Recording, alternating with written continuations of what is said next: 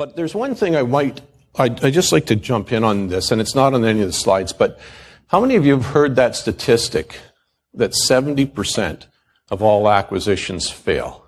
Is that, you've heard of that? Yeah. Yeah.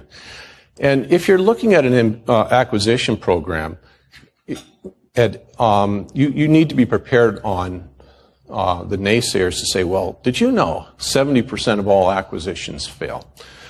So, and, and there's strong statements. Uh, Forbes recently came out with a statement in one of their articles that said, you know, when all the dust, the dust settles, when all the if, ands, and buts have been examined, 70% fail.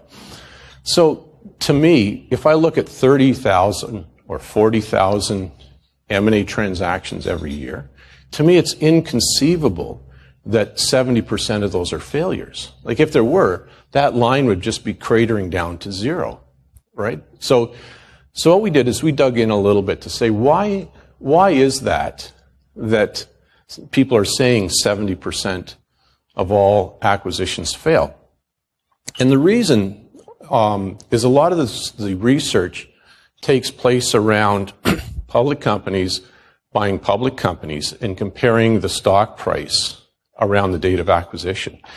And if the stock price dips at all in the few days after the acquisition, it's considered a failure. Okay? Now, uh, if you believe in, in uh, efficient capital markets, then uh, and, and I, I think that our capital markets in the West are fairly efficient.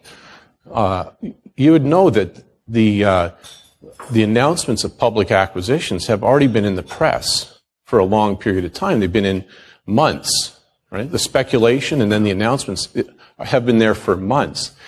And that transaction is already fully priced in the share price, right? So, uh, so once it's completed, it takes some of the pressure off the share price, and it would be a logical thing to see the share price drop by 1%. And to me, that does not warrant the descriptor of a failure.